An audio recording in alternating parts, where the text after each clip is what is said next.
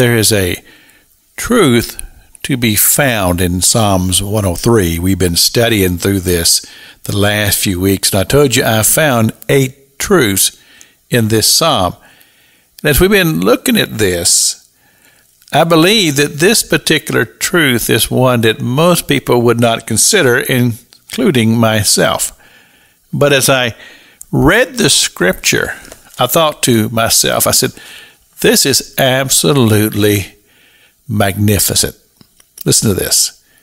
He has not dealt with us after our sins, nor rewarded us according to our iniquities.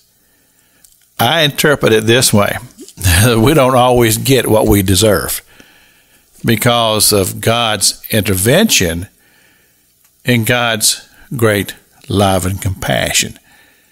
And just this reaffirms what the scripture tells us in John 3:16 for God so loved the world that he gave his only begotten son that whosoever believeth in him should not perish but have everlasting life. And I believe that we truly can take to heart the fact that God wants us to have abundant life, quality of life. But we do have these issues of sin and rebellion. It's in all of us. Unfortunately, we were born with it. But what happens is when we seek after spiritual things, and we have a heart to want to grow in our spiritual life, our spiritual understanding, we begin to understand more about the ways of God and the thoughts of God and then how God works in our lives. And we learn to flow in that. Well, even with that, we're never going to gain full perfection. There's always going to be those flaws. But this is where the mercy and love of God comes in because He looks down upon us and He sees the flaws and He sees the things that we do that are displeasing to Him.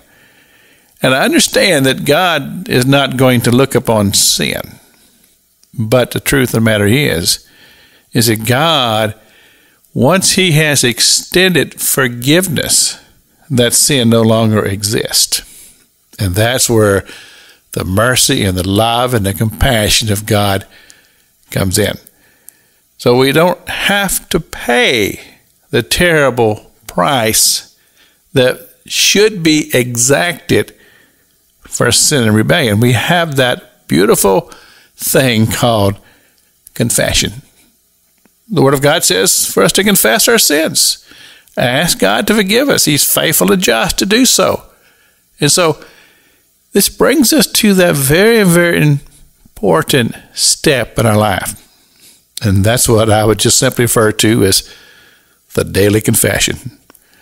That we make sure that in our prayer time that we ask God to truly forgive us of our sins with heartfelt repentance. And God in his mercy, his love and his compassion will grant us pardon and forgiveness of our sins, that we might be cleansed as we stand before Him. And oh, how important, how very important that is. It's Pastor Jack King with the gospel on the radio broadcast.